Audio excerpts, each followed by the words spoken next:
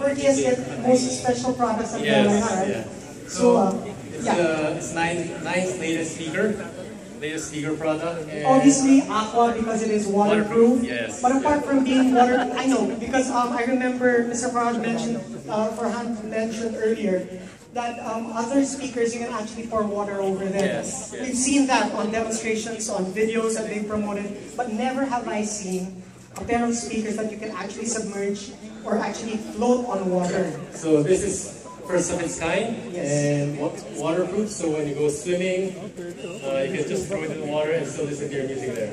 It's a water party. Yeah, it's a water It's a party. pool party actually. You don't have to just put it beside the pool. It can actually join you in the pool. I like actually the four factor pool as well. It looks like a buoy. So you can pretend you're David Hasselhoff and Baywatch, di ba? And you're steering along.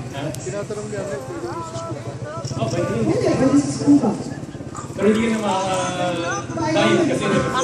Max.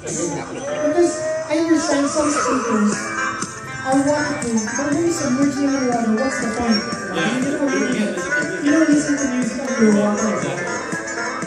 So it was actually meant to float so that while you're probably playing with your friends or frolicking and, uh, and it's perfect for the hot yes, actually um it's uh, all Nyne products have speaker Yeah, all my brothers speakerphone, so you can have wireless speakerphone.